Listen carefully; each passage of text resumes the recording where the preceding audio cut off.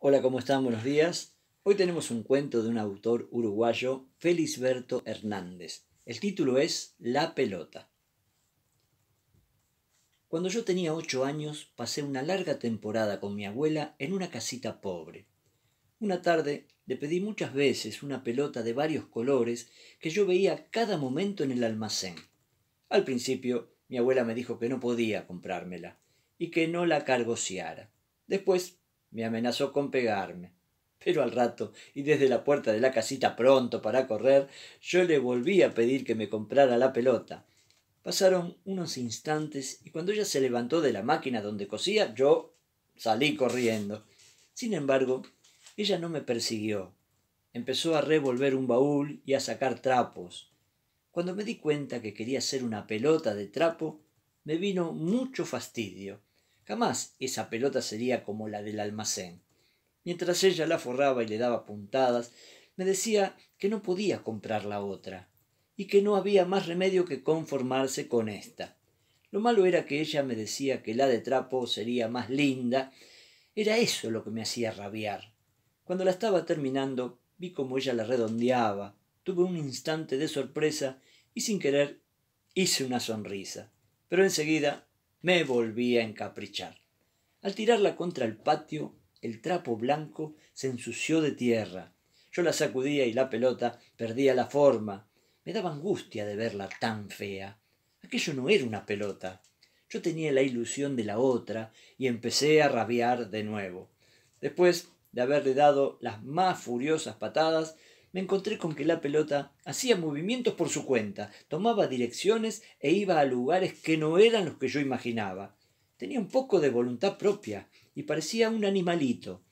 Le venían caprichos que me hacían pensar que ella tampoco tendría ganas de que yo jugara con ella. A veces se achataba y corría con una dificultad ridícula.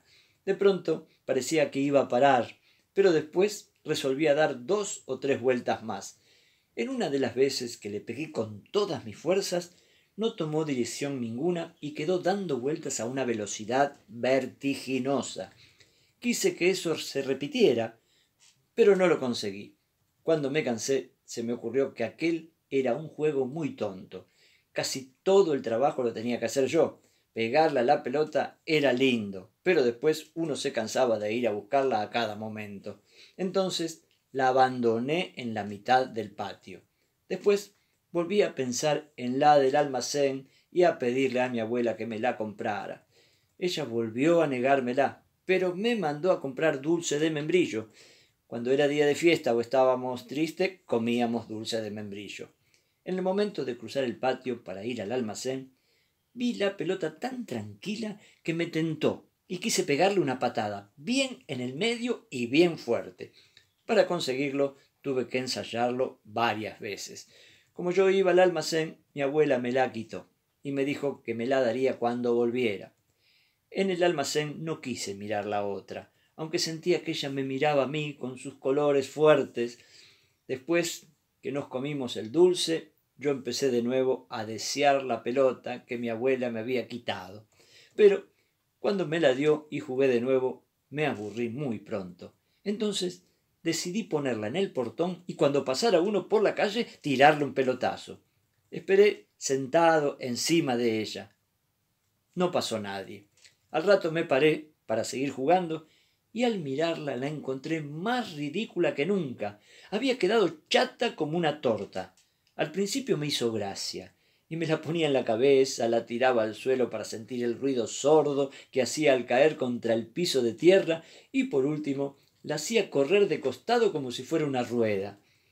Cuando me volvió el cansancio y la angustia, le fui a decir a mi abuela que aquello no era una pelota, que era una torta, y que si ella no me compraba la del almacén, yo me moriría de tristeza. Ella empezó a reír y a hacer saltar su gran barriga. Entonces yo puse mi cabeza en su abdomen y sin sacarla de allí, me senté en una silla que mi abuela me arrimó. La barriga era como, como una gran pelota caliente que subía y bajaba con la respiración. Y después, poco a poco, me fui quedando dormido. Ese es el cuento de este gran autor, Felisberto Hernández. La pelota. Un beso grande para todos y nos vemos mañana con otro cuento.